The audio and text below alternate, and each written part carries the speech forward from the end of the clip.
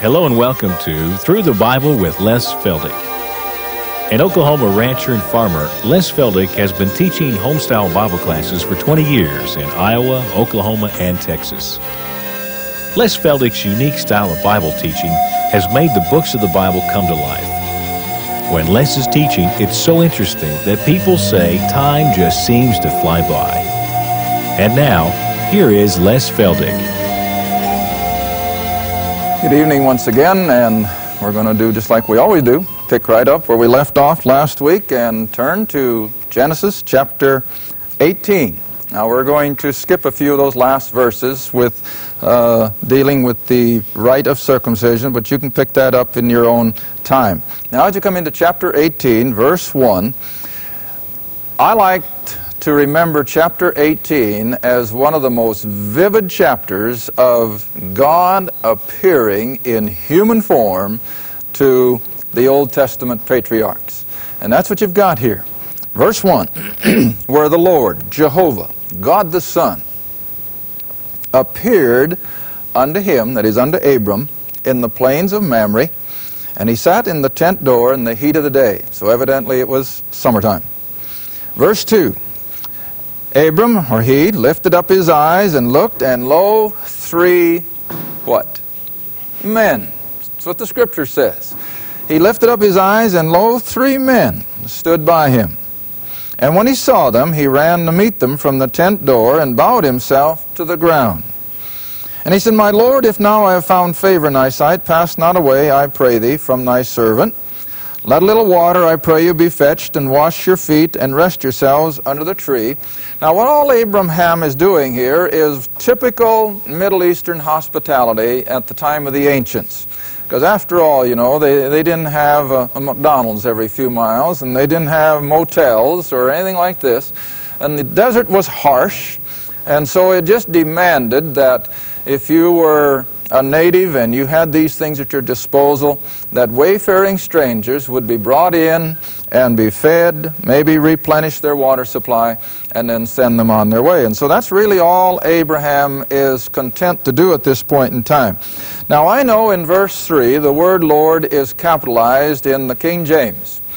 But if I'm not mistaken, in some of the other translations, uh, I think in the Revised, I'm not sure, but I know I've had people in my class over the years where the word Lord here is not capitalized, it's small l, and I would tend to agree with that simply because I do not feel that at this point in time, as these three men approached Abraham's tent, that he knew one of them was Jehovah. Now, if he did, then of course it should be capitalized as it is. But I can find nothing in the next few verses that gives us a hint that Abraham understood that the Lord was one of these three men. But it is, of course. Now then, he drops down to verse 5, and he says, I will fetch a morsel of bread and comfort you your hearts, and after that you shall pass on. Now, when you analyze that, if he knew that this was Jehovah, would he be so ready for him to just pick up and go again? Well, I don't think so. But he just thought these were three wayfaring strangers who merely needed a rest and some sustenance, and they could take off and go on their way. But if you want to maintain that Abraham knew who this was, that's all right. I've got no argument with that either.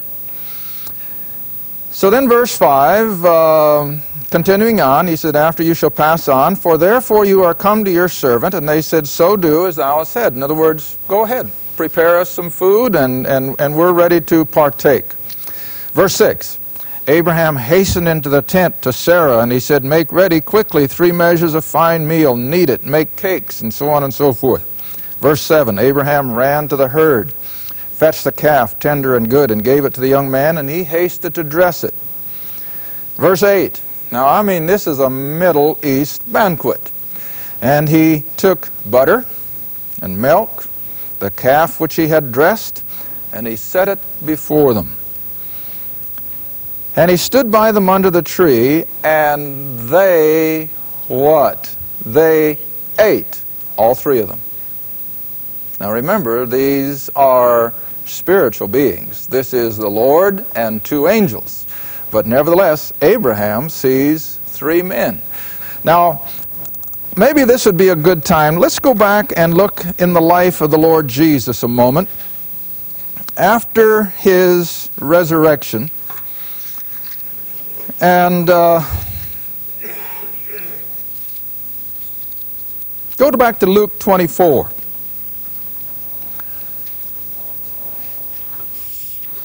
Now, I think some of these things are, are good to comprehend because there's a lot of ignorance, I think, on the part of even believers as to our spiritual state when we get to eternity. And remember that we're not going to spend eternity in some ethereal, invisible soul state. We're going to be bodily involved. And I think as such, we're also going to enjoy a lot of the good things that God's going to provide, and among them, eating. And now, here in Luke 24, we have the Lord Jesus in that 40 days of time after his resurrection.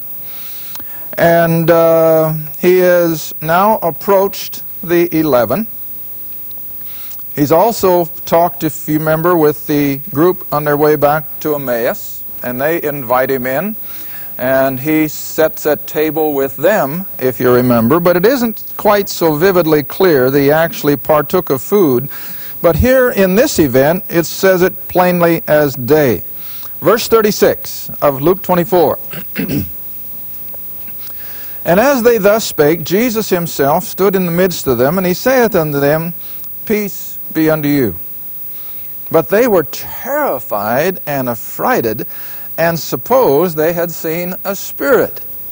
And he said unto them, Why are you troubled, and why do thoughts arise in your hearts? Before my hands, behold my hands and my feet, that it is I myself. Handle me, touch me, see, for a spirit hath not flesh and bones, as you see me have. And when he had thus spoken, he showed them his hands and his feet. And while they yet believed not, even though their hearts were filled with joy, Yet they believed not for joy and wondered. He said unto them, Have ye any meat? Have ye any food? And they gave him a piece of broiled fish and of honeycomb. And he took it, and what did he do? And he ate before them. Now that's in his resurrected body. A lot of people don't realize this. I think this might be a corresponding, but if not, some commentators maintain that the four gospel writers do not always write about the same events, and so consequently, if they aren't exactly the same, there's not a contradiction, but these are all different events. But whatever. Do you remember when he approached the eleven and they'd been fishing all night? Sure you do. That's in John's Gospel, I think. Yeah, let's turn to it just for the fun of it. Let's go to John's Gospel. That would be chapter 20. 21. John 21. Beginning with verse 3, so we get the setting. John's Gospel, chapter 21, verse 3. Now Simon Peter said unto them, I go fishing. What in the world caused him to say something like that? Well, Peter as yet just didn't comprehend that things weren't all down the drain there was still a lot left to be done. But he was ready to go back to his old profession of fishing up there on Galilee. And so the rest of them said, Well, we'll go with you. Now, continuing on in verse 3, they went forth and entered into a ship immediately, and that night they caught nothing. Now, you remember the story, and the next morning they still hadn't caught anything.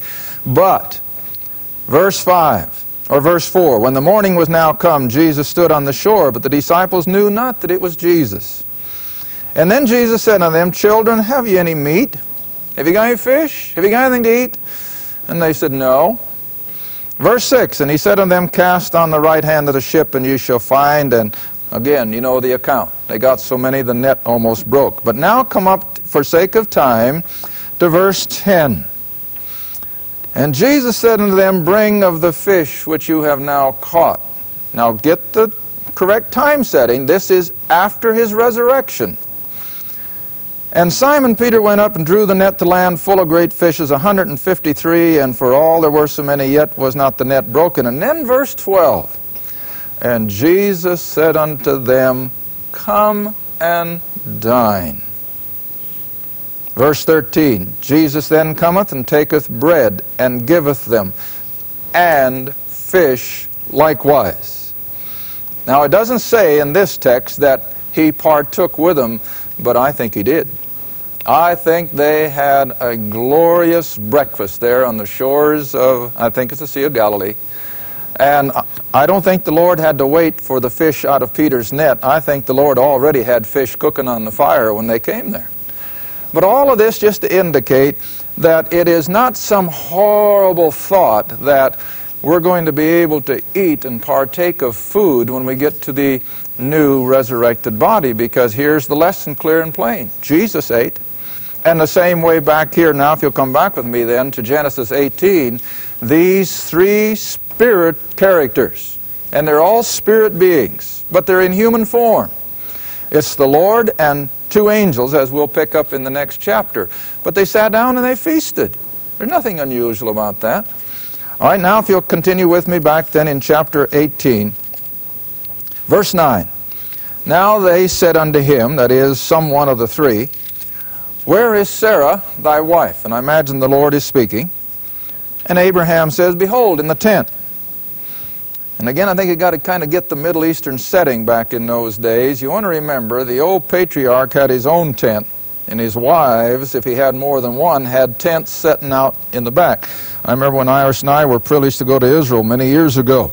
They they let us stop at an Arab, in this case, an Arab sheikh out in the desert, and that's exactly the way it was. He had his tent, and then out behind were the tents of his four wives and his, what, 24 kids, honey? Something like that.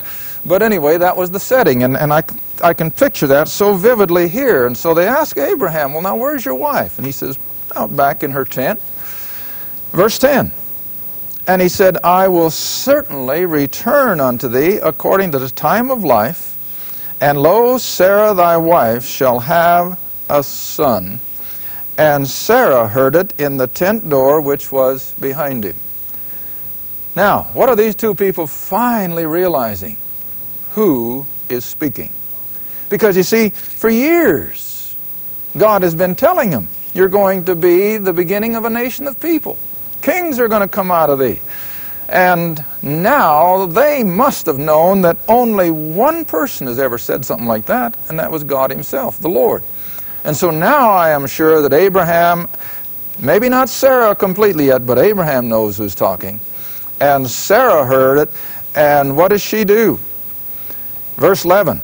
Now Abraham and Sarah were old and well stricken in age. Don't lose sight of this. Abraham is now 99 and Sarah is 89. They're both going to be 100 and she'll be 90 when the lad is born. But they were well stricken in age. Verse 11, and it ceased to be with Sarah after the manner of women. Verse 12, therefore, in spite of all that has been promised, Sarah laughed within herself, saying, After I am waxed old, shall I have pleasure, my Lord? Now, there the small l is correct because she's using the word Lord. You remember in our study a few weeks ago that the word Lord was used in a small l with reference to the husband? And so, in so many words, he says, Shall I have pleasure, my husband also being this old? And then verse 13, And the Lord, now here it's Jehovah, and the Lord said unto Abraham, Wherefore did Sarah laugh, saying, Shall I of a surety bear a child which am old? Verse 14, Is anything too hard for the Lord? Now, when I read something like that, and I, this is what I try to get my class people to do, immediately transcend yourself into a New Testament situation.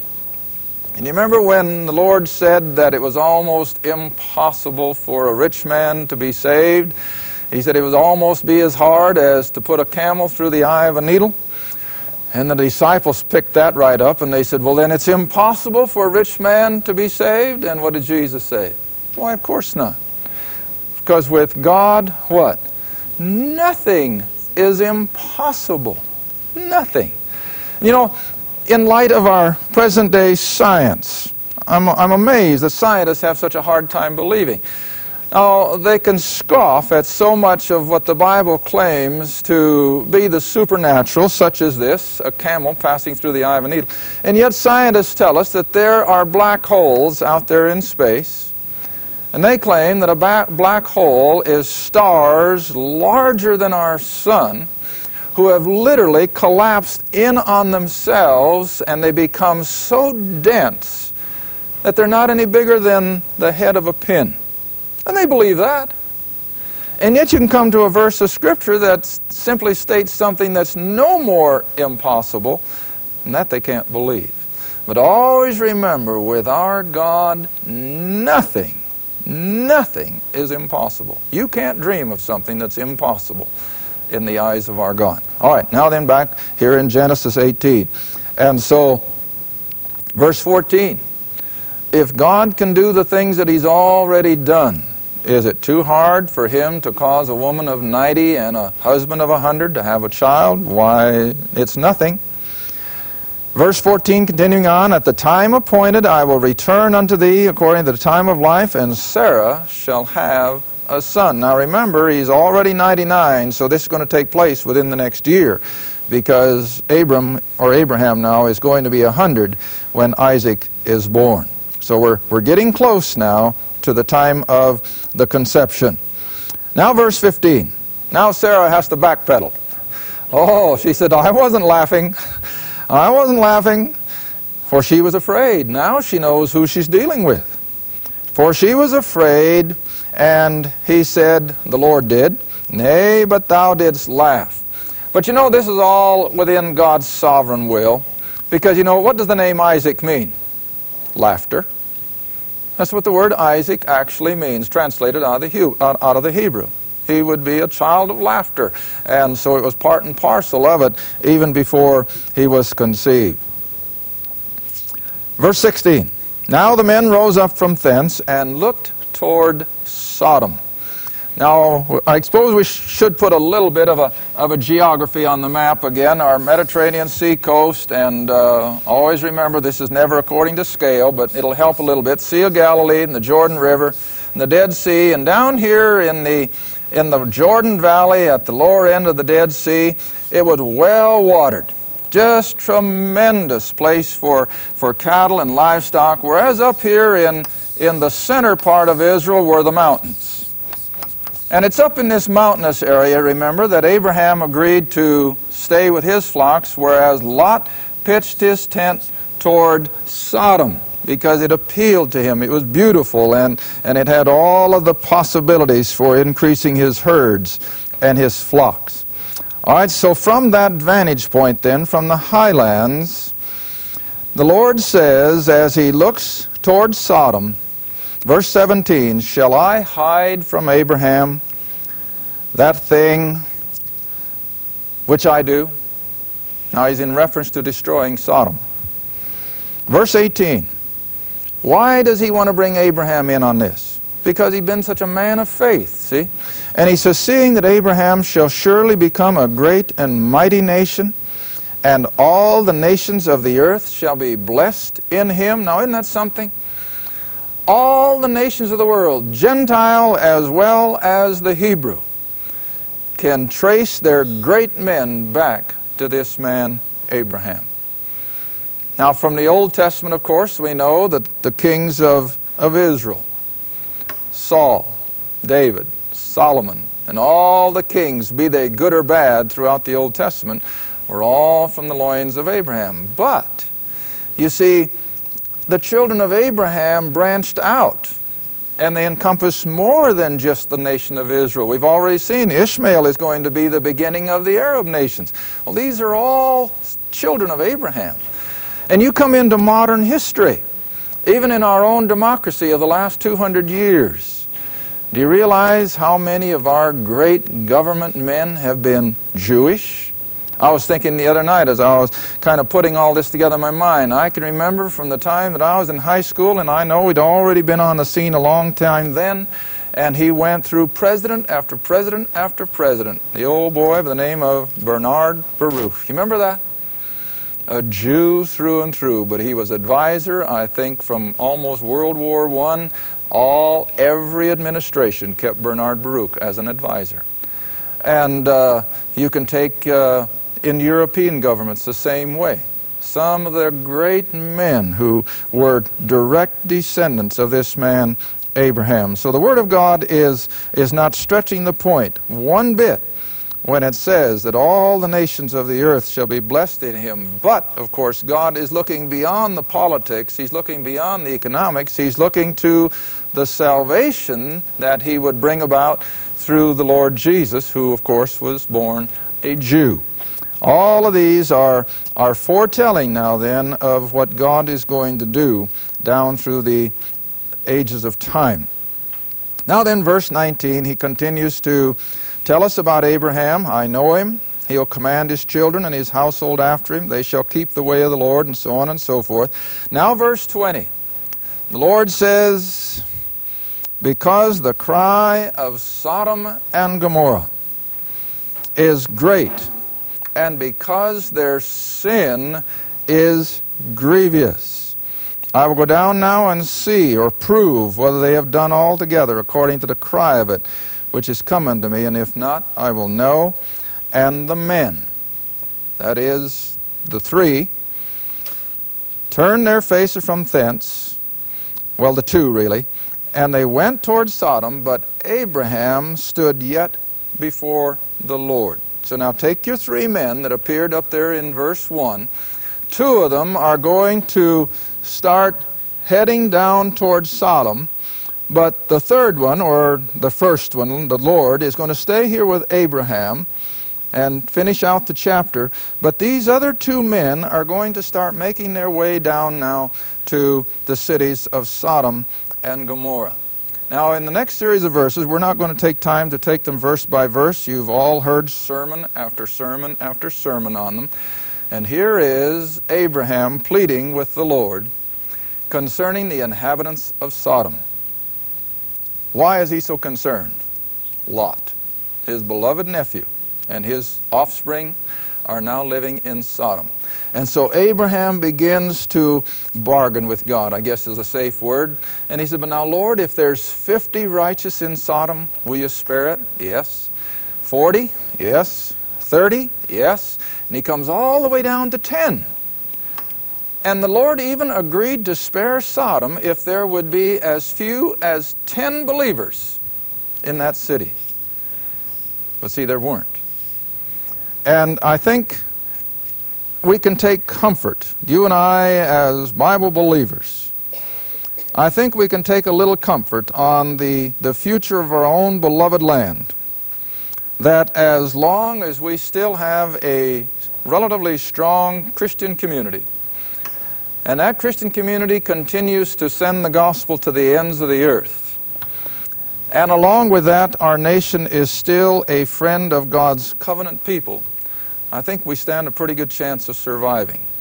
But anytime any of those three things go down the tube, America's had it. Because America is ripe for judgment. We know she is. Just as surely as Sodom and Gomorrah were. But you see, I think if we can take a lesson from this, is that God will spare judgment because of his own people.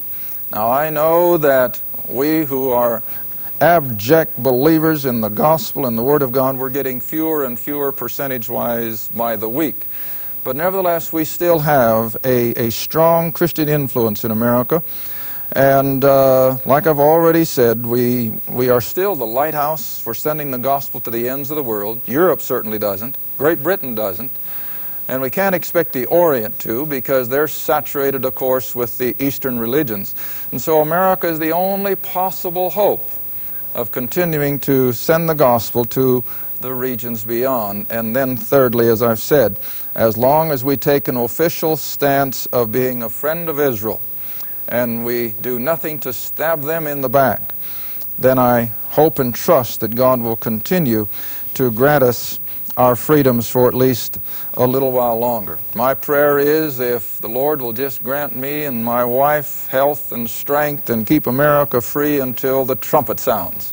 When one day soon, I think The Lord is going to leave heaven with the shout and with the sound of the trumpet, and we're going to be caught up to meet him in the air. What happens after that is not so much my concern.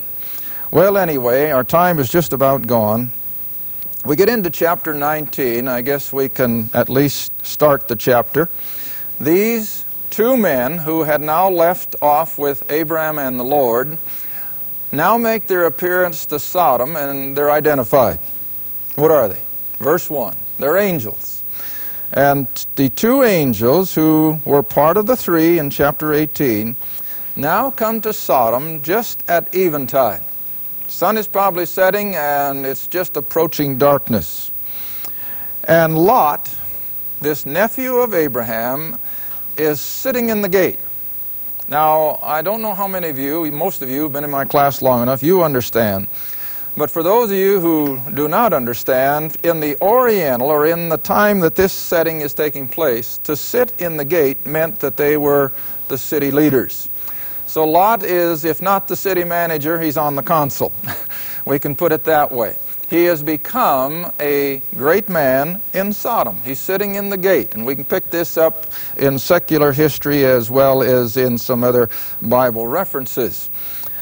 And so now he's become an important man in Sodom. And seeing them come, that is, these two. Now, he doesn't realize they're angels. All he sees is what Abraham saw two men. And when Lot sees them coming, he rises up to meet them. And he bowed himself with his face to the ground, and he said, Behold now, my lords. Now there is that small L again, so it's merely a reference to as if we would say, My master or sir. It was just simply a word of greeting. And he said, Behold now, my lords, turn in, I pray you, into your servant's house, and tarry all night. Wash your feet, you shall rise up early and go on your way. Now, do you see that hospitality coming through? Only you see, Lot, knowing the Sodomite people, has more at stake even than Abraham as he entertained the three. But this was still in accordance with the custom. So he says, Come on in, spend the night in my home, be refreshed, and early in the morning you can be on your way. But poor old Lot has a curve thrown at him, doesn't he? And what's the answer? Oh, no. No, we're not going to sleep under a roof. We're going to spend the night in the street. Last part of verse 2 Nay, but we will abide in the street all night. Put yourself in Lot's shoes. Thank you for watching Through the Bible with Les Feldick, a weekly Bible study. If you would like more information about the Les Feldick Ministries, a Bible study in your area, or about this program, write to Les Feldick Ministries, Route 1, Box 760, Kinta, Oklahoma 74552.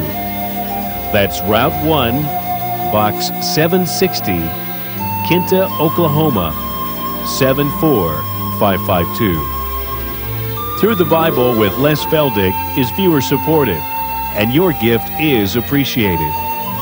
Thank you, and be sure to tune in next time.